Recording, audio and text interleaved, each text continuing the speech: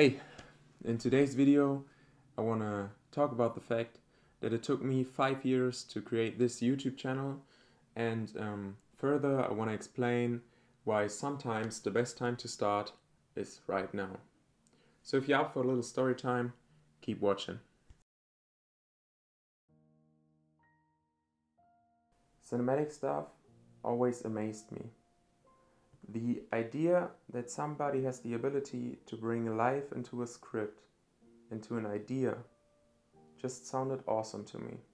Sometimes I found myself walking through the streets and look around. How could this place look like in a short film? What would the protagonists do? How would the people who are watching feel? Thoughts of the 18 year old me. Five years later, I'm sitting at my desk listening to Denzel Washington.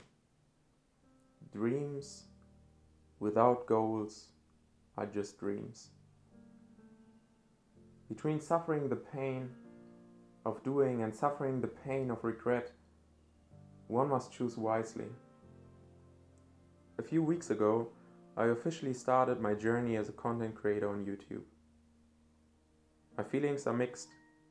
Who's going to watch my videos? Are they going to be liked? Are there people who are actually interested in what I have to say? So, to be quite honest, many questions surfaced when I thought about this topic. But somewhere on the way, I just decided go for it.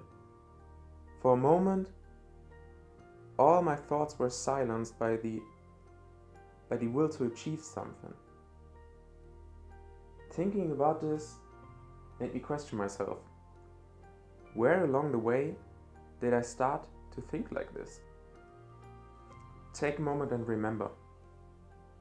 Remember when fear was not your first counsel. Remember a time when every plan you made became an action.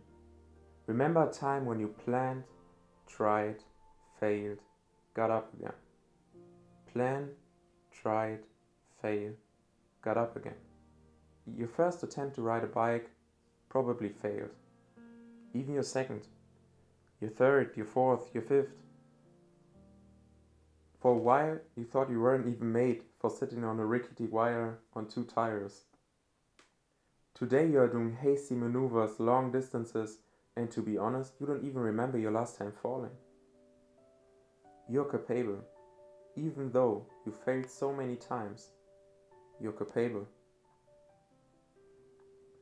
Maybe, just maybe, riding bike wasn't your first love. That is fair. But I'm more than convinced that there are things in your life that you can now master brilliantly that you failed just as brilliantly in the past. The point I want to make is this. There was a time in our life where we did things simply. The first thought was not whether we could do it or how best to do it. The sheer drive just made us do things every day. The fact that some of these decisions led to bloody knee, anger from our parents, or broken window pane is a topic for another video. The fact is, whether it is riding a bike, the first appearance on a big stage, or something else, we have grown with these things. And the next time it was our turn, it was a little bit easier than before. What are you capable of? So now the big question. Why did it take me five years to start a YouTube channel? To keep it short, I think I was afraid. Afraid of failure. Afraid of what people might think. What they would say. Further, I was afraid that I can't live up to the expectations I set for myself. I want to be good at what I do, and I want people to see it. I think that being liked and being successful represent a major part in the criteria which decides if we do things or we don't. But what good do these expectations, fears, or thoughts do if they keep us from doing what we love?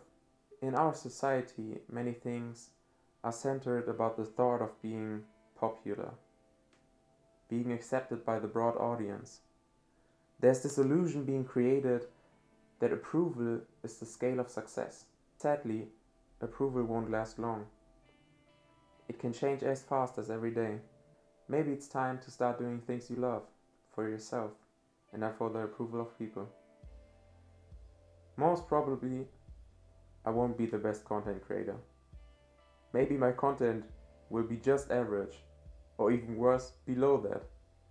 But to be honest, as much as this sounds weird to say, that's not what it's about. I like doing videos, I like producing, I like the filming, I like taking my thoughts and put it into action, getting creative. And maybe there's someone out there, just one person, who sees these videos and is inspired. And ultimately, I like the thought that I'm able to walk through the streets and look around. How could this place look like in a short film? What would the protagonists do? How would the people that are watching feel? But the only way to figure out if you're prepared, you must try. Maybe you and I, we will suffer the pain of failure, but we won't suffer the pain of regret. What is your dream that needs action? What fuels your spirit?